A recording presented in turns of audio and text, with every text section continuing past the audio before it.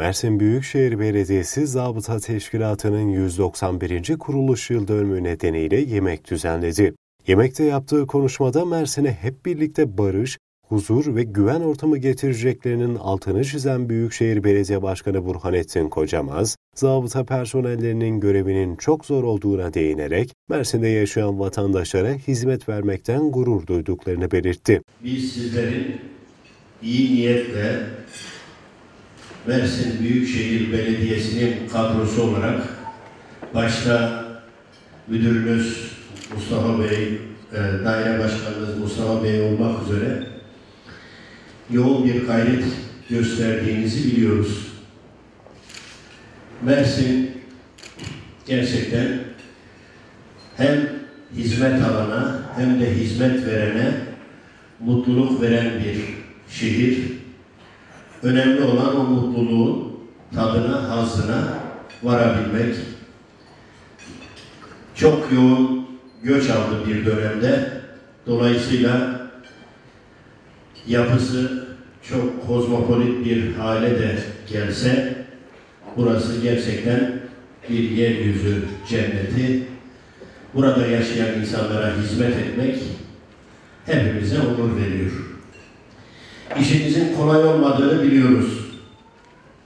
Özellikle işsizliğin tavana vurduğu bir kentte yaşıyoruz. Problemleri çok olan bir kentte yaşıyoruz. Kuralsızlıkların kural haline getirilmiş olduğu bir kentte yaşıyoruz. Ama daha fazla bu karmaşayı sürdüremeyiz, buna müsamaha gösteremeyiz. Onun için Mersin Büyükşehir Belediyesi olarak göreve geldiğimiz günden bu yana sizlerin de özverisiyle çok büyük bir mücadele veriyoruz.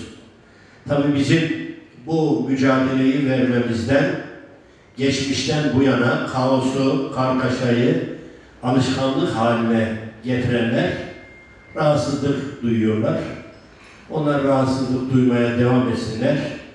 Biz hep birlikte bu kenti hak ettiği yere getireceğiz. Gerçekten Mersin'in sokaklarında dolaşırken özellikle de alt belediye, üst belediye karmaşası gerçekten hepimizi üzüyor.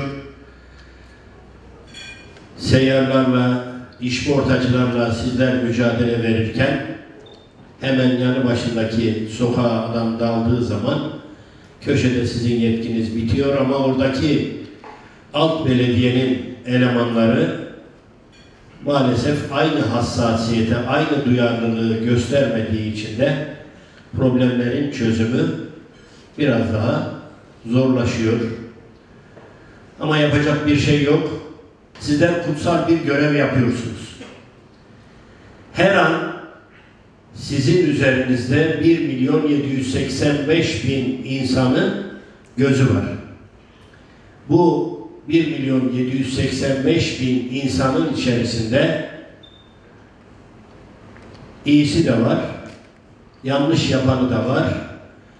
Sizi yanlışa sürüklemeye gayret edenler de mutlaka çıkacaktır. Ama biz sizlerin mümkün olduğu kadar bu tür yanlışa düşmemek için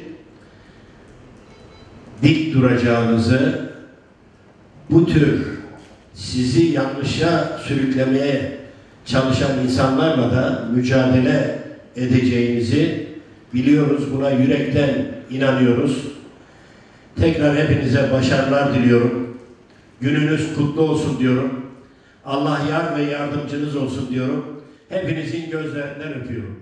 Belediye ile vatandaşlar arasında köprü vazifesi gören zabıtaların yaşadığı zorlukları biraz olsun unutmalarına yardımcı olan yemekte verilen konserle eğlenceli dakikalar yaşayan zabıta personelleri gönüllerince eğlendi.